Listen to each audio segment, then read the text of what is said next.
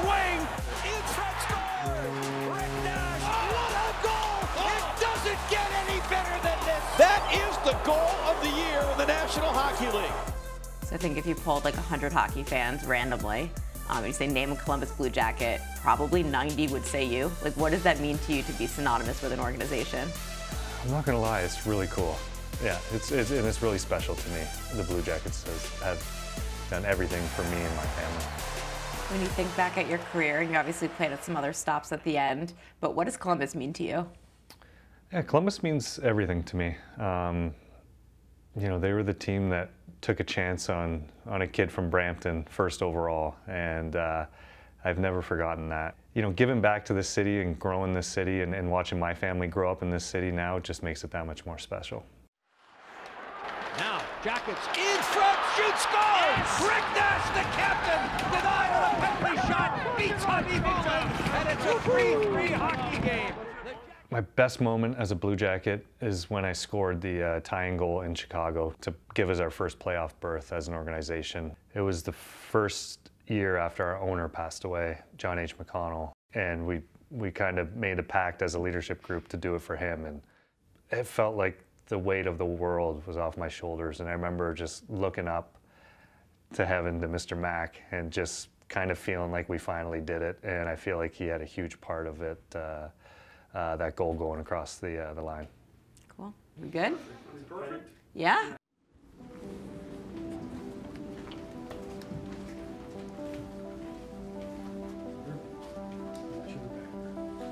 Every year, Mr. McConnell, our owner, has invited us to his place, and um, you know we missed that now for a couple years for the obvious reasons of COVID world, and for the same obvious reasons again he couldn't be here, so it's on video. So let's watch. Bringing Major League Sports to Columbus and watching the impact the Blue Jackets have had in our community has been a great thrill in my life and a tremendous source of pride for my family. Since our first season in 2000, over 300 different players have worn Columbus Blue Jacket jerseys, but no one has done it better than Rick Nash. Rick, you are first player to wear number 61 as a Blue Jacket. You're also going to be the last player to wear number 61 as a Blue Jacket. It gives me great pleasure to let you know that on Saturday, March 5th, we're going to honor you and your family by raising 61 to the rafters at Nationwide Arena before our game against the Boston Bruins. Congratulations.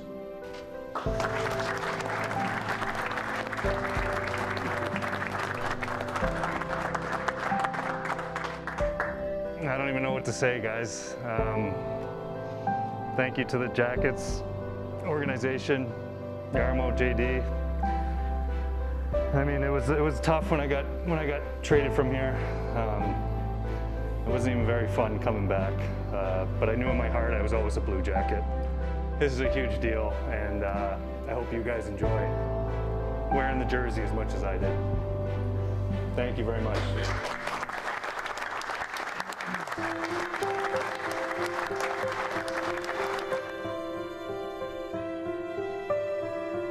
I'm born and raised here, so Columbus is home to me, and Rick's chosen this to be home. To have that be up there permanently is, is really an honor, so, and I am emotional, so. I'll wear waterproof mascara. He was hockey in Columbus, really. Youth hockey around here, you were on the ice, you were trying to be 61. It's just crazy. I mean, I'm so, so honored, so humbled.